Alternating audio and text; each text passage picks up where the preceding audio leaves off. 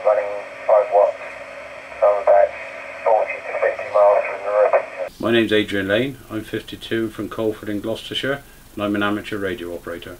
I spoke to the International Space Station in October of last year.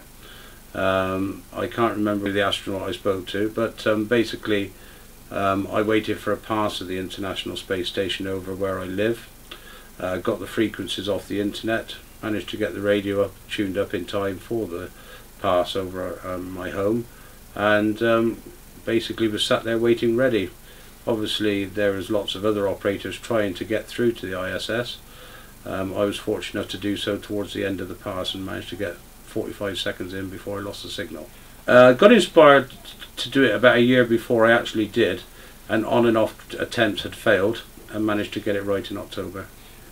I literally said to him, you know, how do the stars look from from up there and everything's so black and uh, he turned around and he said, well the stars are so much clearer up here because you, we're not looking at them through an atmosphere like you are and everything is so dark but yet when you look down at Earth it's just like a blaze of colour. He said it's absolutely amazing Adrian. I spoke to them for about 40 to 45 seconds. Basically we started to lose the pass, signals were fading, I think we, we, we made one last attempt to um, make contact again and we didn't manage to establish contact because literally as soon as I lost them they did come back slightly and we heard them talking to somebody else. They'd obviously moved on to the next one.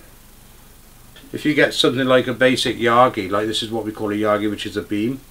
Um, this is a radiating element here which transmits the frequency. This is a reflector that points it all to the front and these three are the um, directional guides for the frequency. So wherever you point that, you will literally um, receive signals.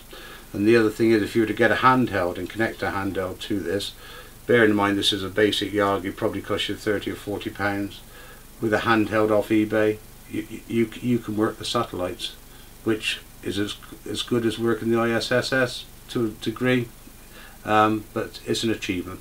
You can speak to other hams anywhere within the footprint of the satellite you're, talk, you're it's relaying you through.